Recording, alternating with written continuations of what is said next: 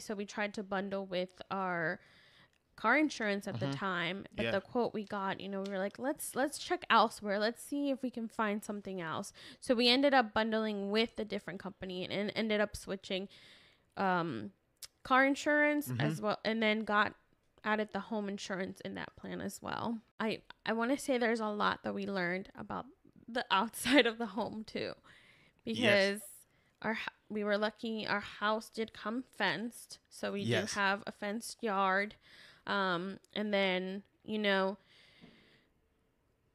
the part that we really had to learn I, I i'm gonna give all that to you like that was that's a major you know prop to you for learning how to do things because i'm not an outdoorsy person really Mm-hmm. um i, I don't go to the yard I, I i i can see it from the window. I don't need to go out there